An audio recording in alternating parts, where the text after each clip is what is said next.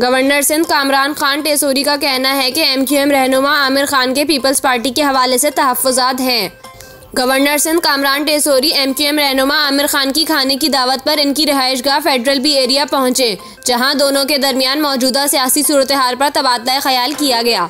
M Q M रहनुमा के घर पर मीडिया से गुफ्तु करते हुए गवर्नर सिंध कामरान खान टेसोरी ने कहा कि अंदर की बातें जब बाहर आती हैं तो बढ़ चढ़ कर आती हैं।